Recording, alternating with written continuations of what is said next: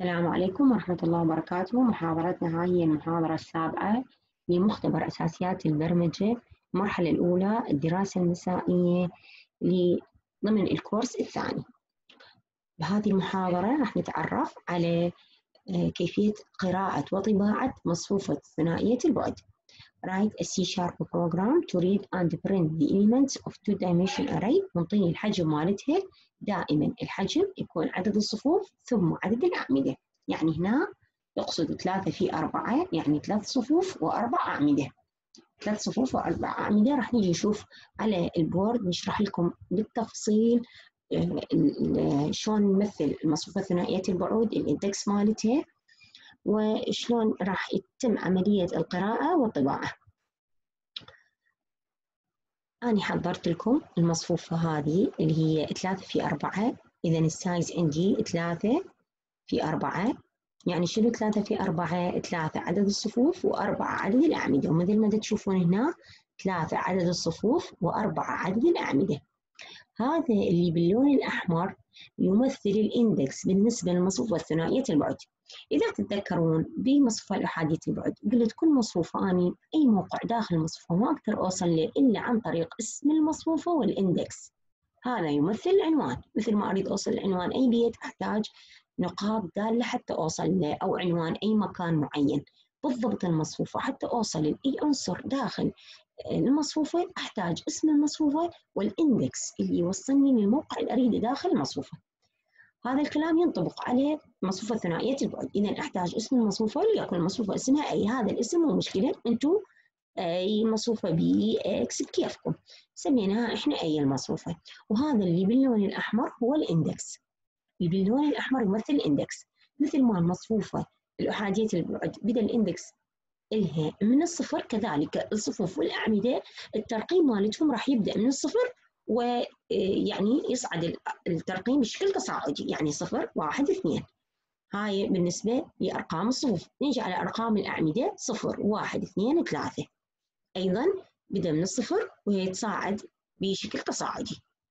إذا ثلاث صفوف عندي بدأت من الصفر إلى الاثنين أربع أعمدة من الصفر إلى ثلاثة. تمثل لي أربع أعمدة. كل موقع ناتج من تقاطع الصف مع العمود. يعني هذا الموقع صف صفر من رقم الصف صفر رقم العمود. هذا الموقع صفر من رقم الصف وواحد رقم العمود. هذا الموقع الإندكس مالته صفر لأنه هو بالرق... بالصف رقم صفر واثنين من العمود. نفس الشيء هذا الموقع رقم الصف إلى صفر والعمود ثلاثة إذا صف عمود طلاب. الإندكس يتمثل بصف عمود. أي موقع هسه تشوفوا هذا مثلا؟ اثنين ثلاثة يعني بالصف الثاني العمود الثالث بالفعل. إذا أي نقطة في ال two dimension ناتجة من تقاطع الصف مع العمود.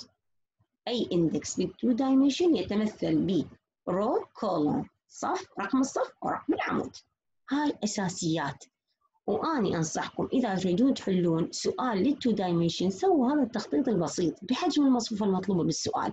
راح تسهل لكم هواي من العمليات. تصير أوضح بالنسبة لكم.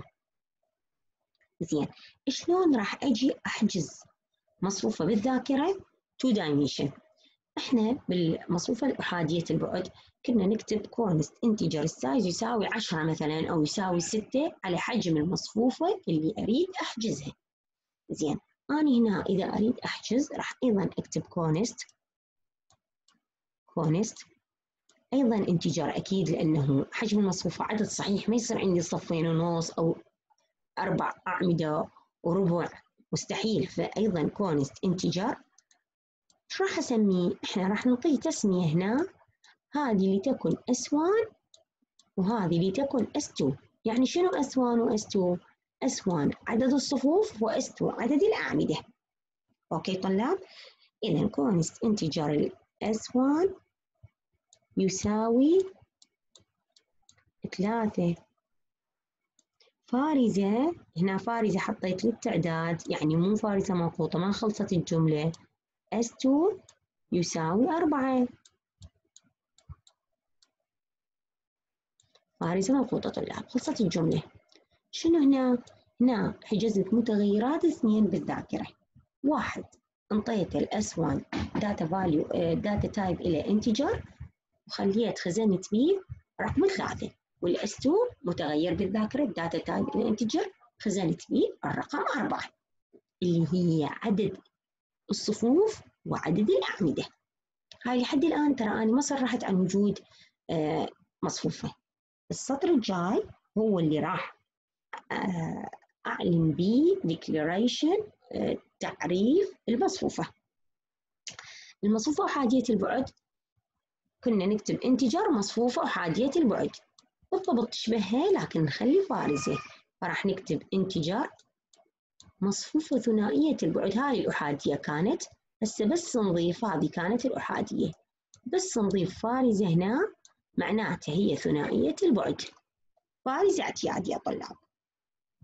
الأي هاي أعدل لكم إياها حتى تصير واضحة أكثر. هنا هذه فارزة اعتيادي يا طلاب أوكي؟ اسمها الأي اسمها المصفوفة أي مثل ما قلت لكم سميناها أي تساوي لي new new integer شنو integer يعني البيانات اللي راح تنخزن بيها ال data type إلها integer. new integer إحنا كنا نكتب بحجم ال size من one dimension هسه ننطي آه، عدد الصفوف وعدد الأعمدة. معناتها راح نكتب S1 بارزة S2 طلاب بهالطريقة هاي هسه هذا السطر هذا السطر هو اللي عرف لي بالذاكرة. وجود مصفوفة ثنائية البعد حجمها ثلاثة في أربعة يعني تحتوي على ثلاث صفوف أربعة أعمدة. هاي هنا خلص تعريف مصفوفة الثنائية البعد. حتى آه، أقرأ هذه المصفوفة. حتى أقرأ هذه المصفوفة. خليني نكتب ال text مال القراءة. راح نحتاج اثنين for for integer ليش integer طلاب؟ ال i يساوي صفر. ليش integer؟ لأنه آه، دائما ليش صفر؟ عفوا لأنه المصفوفة ال index يبدي من الصفر. for integer ال i يساوي صفر. ال i أصغر من ال S1 طلاب i plus plus أسد القوس okay. و فور انتجار الجي يساوي صفر. وال j أصغر من ال S2 فارزة منقوطة ال j plus plus ال a للموقع. i j يساوي لي integer 16 أو 32 مو مشكلة dot ال parse وأنتم تعرفون تكملتها هي مجرد عملية قراءة ل console dot ال read line. هذا كود القراءة طلاب. هذا كود القراءة. راح نيجي هنا. ال i هو ال index للصفوف طلاب. فال i يكون أصغر من الثلاثة اذا ال i هو للصفوف وال j راح يكون للأعمدة. ال i للصفوف وال j راح يكون للأعمدة. فال i بدأ من الصفر يكون أصغر من ال S1 ومقدار الزيادة في كل مرة واحد لأن هو تصاعدي مقدار في كل يعني في كل مرة يزداد واحد صفر واحد اثنين وهكذا. نفس الشيء ال j بدأ من الصفر أصغر من ال S أصغر من الأربعة وال j plus plus نرجع ونقول ليش استخدمنا S1 و S2 هسه إذا أريد أسويها 5 في 5 فقط أغير هذه. ال S1 وال S2 اكتب هنا 5 وهنا 5 أو 2 في 5 أكتب هنا 2 وهنا 5 كل المصفوفة راح ينعكس عليها آه تتغير. عدد الصفوف وعدد الأعمدة. ما أحتاج أغير بغير مكان. يعني يصير السؤال أكثر شمولية عام. للمصفوفة 2 dimension هنا عمليه القراءة. راح نجي هسه أهم شيء تنتبهون على ال trace أهم شيء الهدف من هاي كتبت الكود حتى تنتبهون على ال trace هسه راح نبدي ال i ننطي قيمه صفر لأن هو بدا ال i يساوي صفر وال j هل الصفر أصغر من الثلاثة؟ نعم. راح يبدي ال j إيش ياخذ قيمة أيضا ياخذ صفر. هل الصفر أصغر من ال S2 الأربعة true راح يبدي شو يبدي يقرأ ال a للموقع i j ال a للموقع i j شنو بال i وبال j راح يقرأ ال a للموقع صفر صفر. هذا أول موقع راح يقرأ. خلينا نخلي في فد قيمة معينة مثلا قرينا قيمة سبعة مثلا أعطيناها أول موقع مثلا. يرجع. شو يسوي؟ يزيد ال j. انتبهوا طلاب. هذا two loops هاي يسموه ال outer loop هاي الحلقة الخارجية وهاي ال inner. هاي الداخلية. لازم الداخلية تخلص كل العداد مالتها. إلى أن يصير false يلا ينتقل يزيد مرة للحلقة الخارجية. هسه نيجي نشوف شلون. هسه جاي قراها الموقع أي الموقع صفر صفر شو راح يسوي؟ راح يروح يزيد ال J ما يزيد ال I إلى أن يصير ال J false يعني زيد ال J إيش قد صارت ال J؟ واحد هل الواحد أصغر من ال S 2 أصغر من الأربعة؟ true ما طول true راح يقرأ إيش يقرأ؟ ال A الموقع صفر واحد صفر واحد اللي هو هذا العنصر اللي يكون نخزن به مثلا ثلاثة قرينا مثلا مثلا ثلاثة okay؟ قرأ. إيش راح يسوي؟ يرجع يزيد ال J إيش قد صارت ال J؟ اثنين. هل الاثنين أصغر من ال S 2 اللي هي أربعة true ما طول true يكمل قراءة. إيش يقرأ؟ ال A الموقع صفر اثنين. صفر اثنين. مثلا قرأ به رقم واحد. كمل القراءة. يرجع على العداد يزيده. إيش قد صار؟ ثلاثة. يشيك الشرط. هل ثلاثة أصغر من ال S 2 اللي هي أربعة؟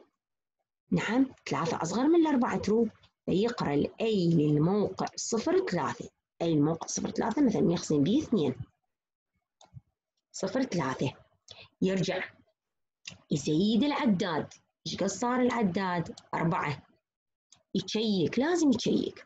هل الأربعة أصغر من الأربعة؟ false. لذلك ما يصير تخلون أصغر أو يساوي. false. الأربعة ليست أصغر من الأربعة. إذا هنا صار عنده فولس ما طول false ما راح يقدر يكمل هذا ال loop يتوقف. وين يروح؟ يروح يشيك ال loop الخارجي. هل ال loop الخارجي؟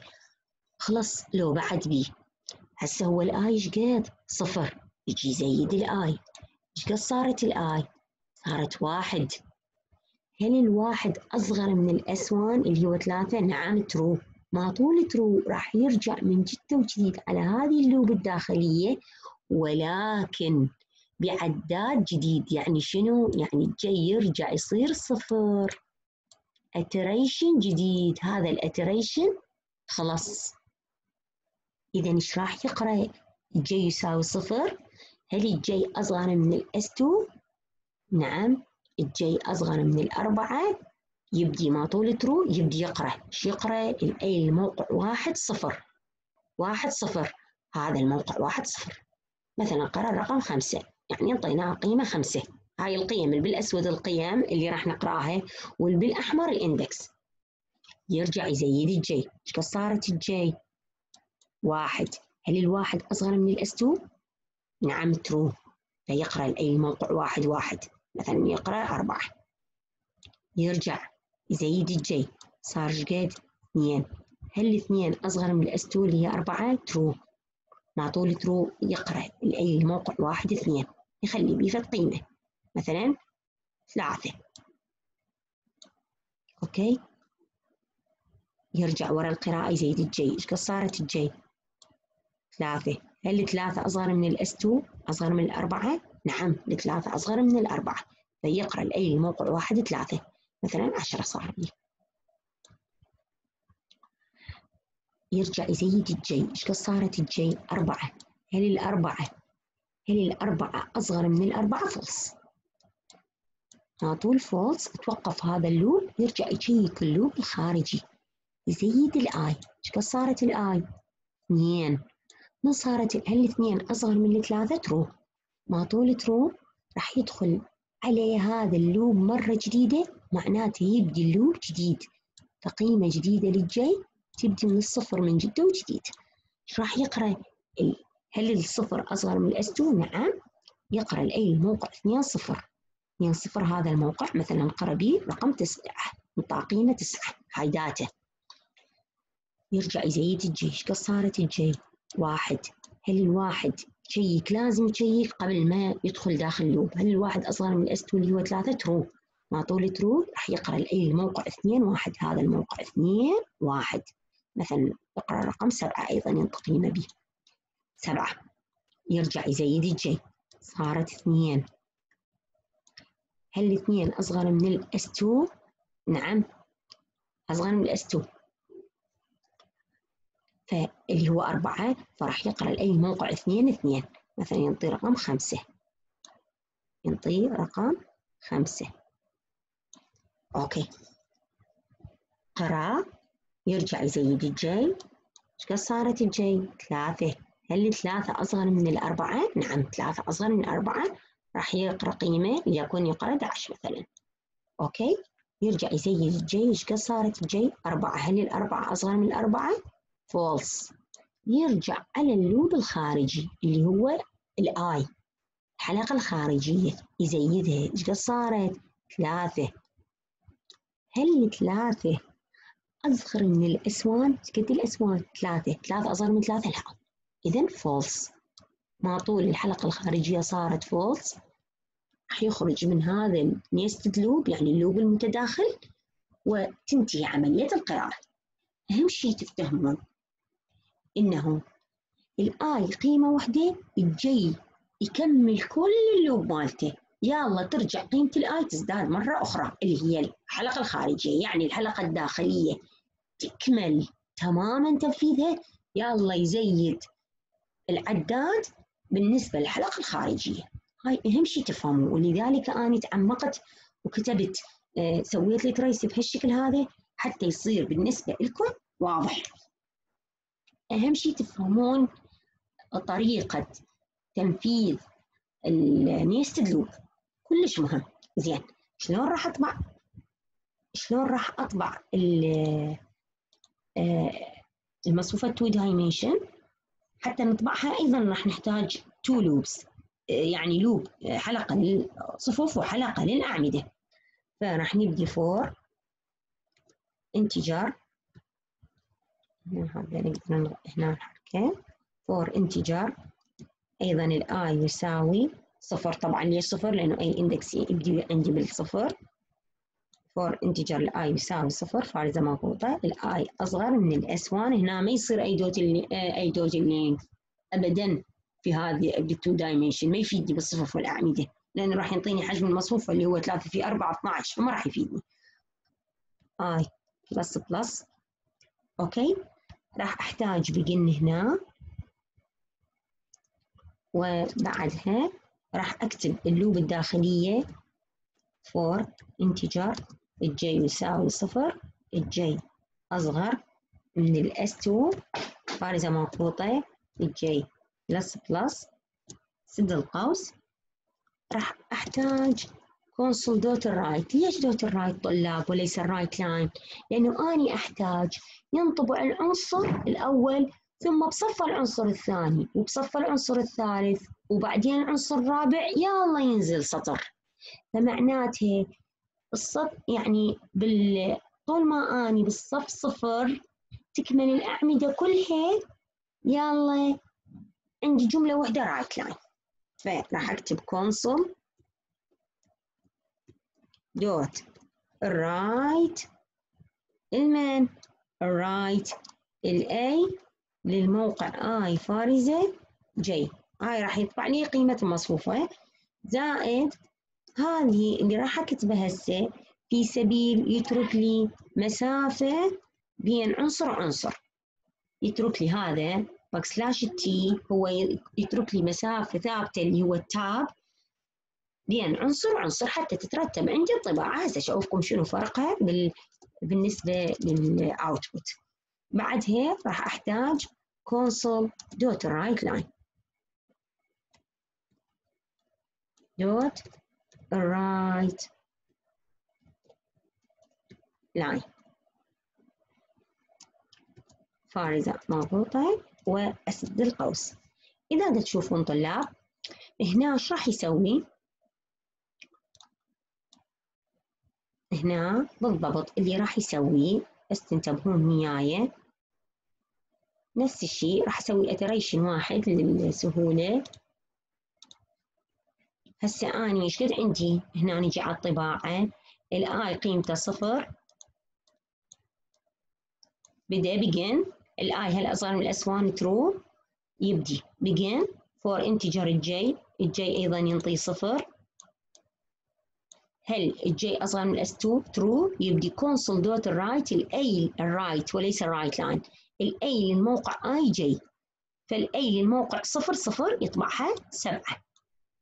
هاي شاشة الطباعة عندي. هاي مجرد trace okay؟ يطبع السبعة وياها فد مسافة ينطي اللي هو ال tab.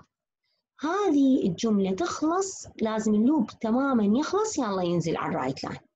إذا لأنه ماكو begin end بس هاي هذه فقط الجملة هي تابعة لل for الثاني. يرجع يزيد العداد ال j. إيش قد صارت ال j؟ واحد.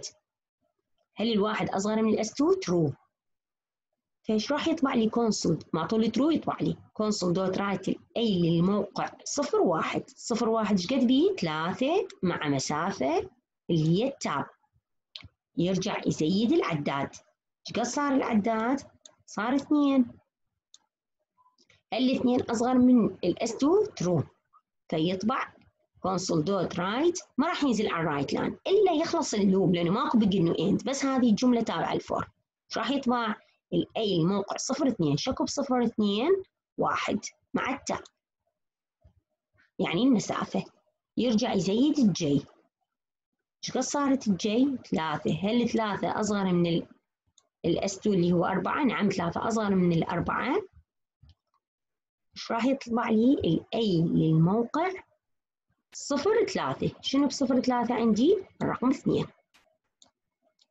هسه يرجع يزيد ال j إيش قد صارت ال j؟ أربعة. هل الأربعة أصغر من الأربعة؟ false ما طول false راح يخرج من هذا ال loop. هو شنو هو ال loop؟ بس هذه الجملة تابعة إليه يروح على console dot ال write line يعني ينزل سطر فقط. هاي الجملة حتى تنزل لي سطر. يشوف هذا القوس. لمن يرجع على هذه الفور يزيد قيمة الآي راح يصير واحد. فينتقل لهذا الصف ويطبع صفوف. الصفوف الجديدة في المصفوفة وهكذا. راح نسوي نروح على شاشة اللغة نكتب البرنامج وننفذه. نبدي. آه، نبدي. const integer. ال S 1 يساوي لي 3 قلت ليش 3 لأنه هو حدد لي بالسؤال. 3 في 4 وال S 2 يساوي 4 فارزة منقوطة integer مصفوفة ثنائية البعد. لازم أحط فارزة حتى يفهم ال compiler. هاي ثنائية البعد اسمها A يساوي لي new integer مصفوفة بحجم S1 فارزة S2 أسد القوس فارزة منقوطة أبدي حتى أقرأ. تريد ال array أحتاج nested for للصفوف والأعمدة for integer ال i يساوي صفر ال i أصغر من ال S 1 فارزة منقوطة ال i plus plus و for integer ال j يساوي صفر ال j أصغر من ال S 2 فارزة منقوطة ال j plus plus هاي طبعا دا أقرأها عن طريقة الصفوف الصف الأول بأعمدته وهكذا.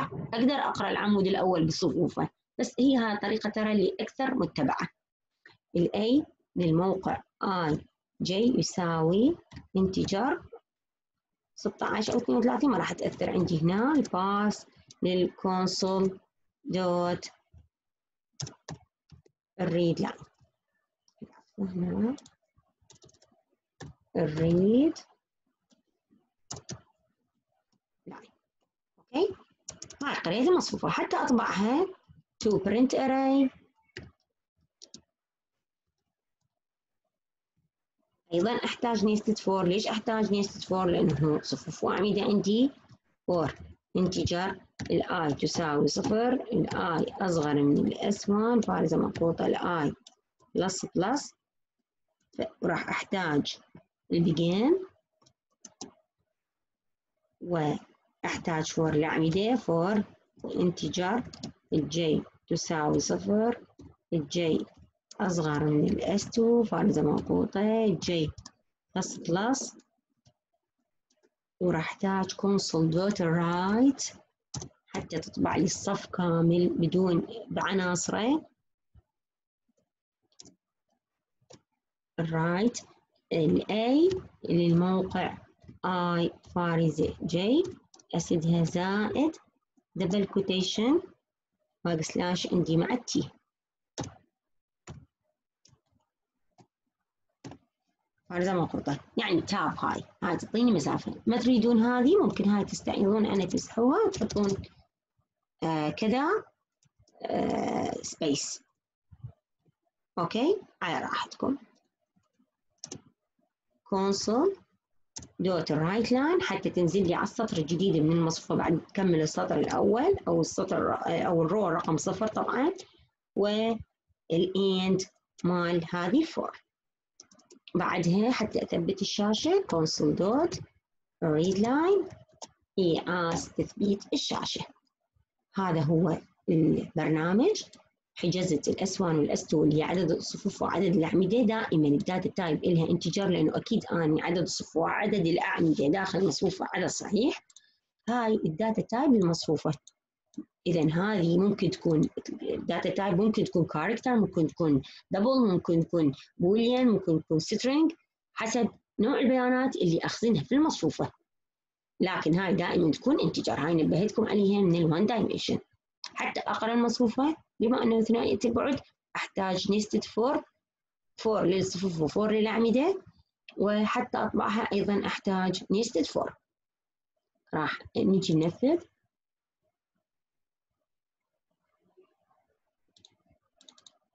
راح أبدي أنفذ. أنطي 3 في 4 معناتها 12 آه 12 آه 12 قيمة. مثلا 17 الموقع الأول 8 9